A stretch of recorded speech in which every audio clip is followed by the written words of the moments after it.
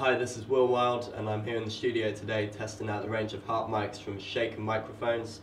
I've been using these mics both live and in the studio for a few years now and uh, I think they're some of the best out there on the market at the moment.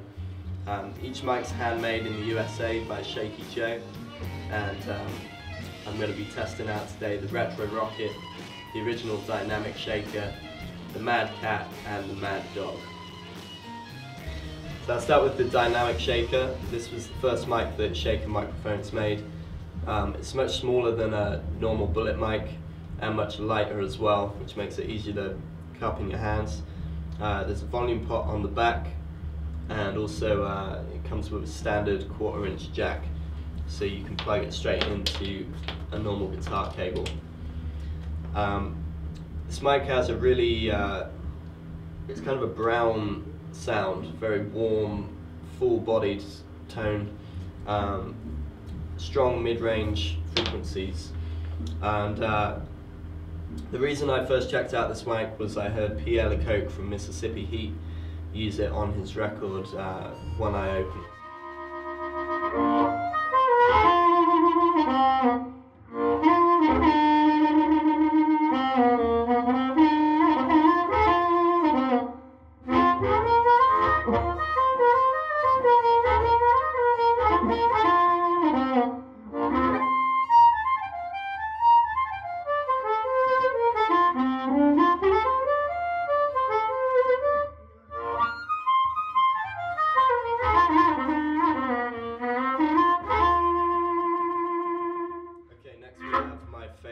The Shaker microphones. This is the Retro Rocket.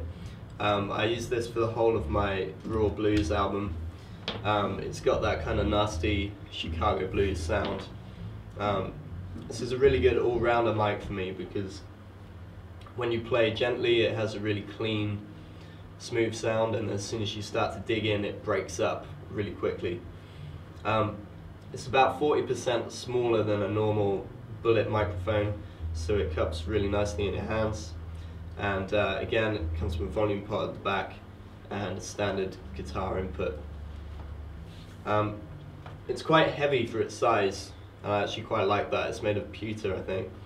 Um, it just feels really nice in the hands.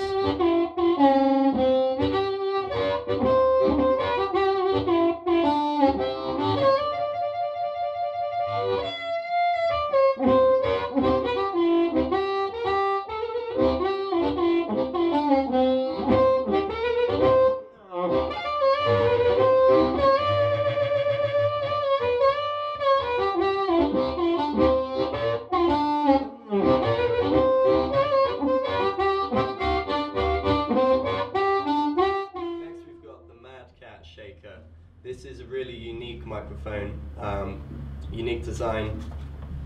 Uh, it fits between your fingers, like so, and uh, mic sits just here and the volume pot on the top.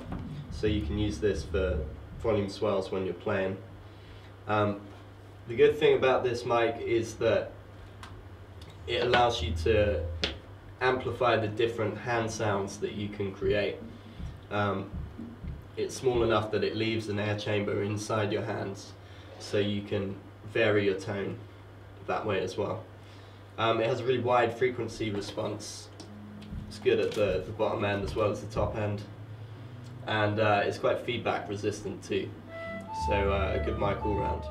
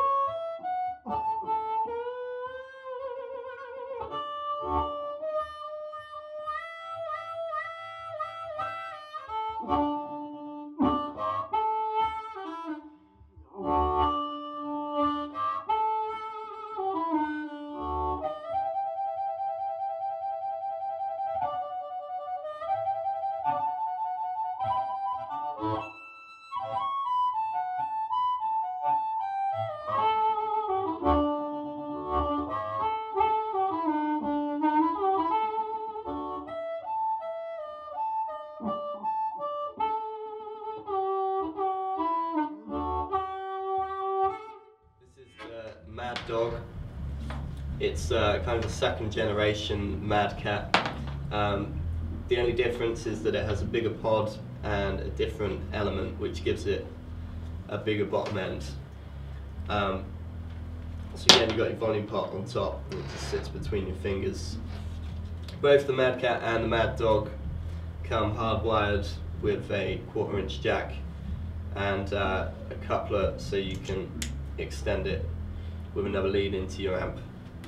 Um, this mic has a really similar tone to the 545, uh, the old Shure 545 that Paul Butterfield used to use.